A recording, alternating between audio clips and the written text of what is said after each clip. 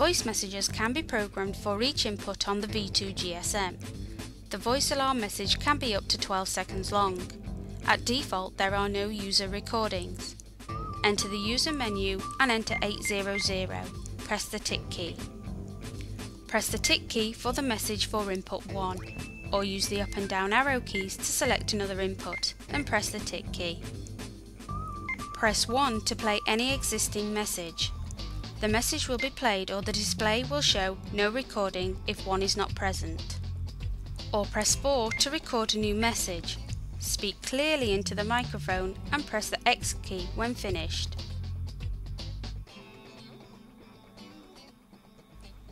Or press 9 to delete the message.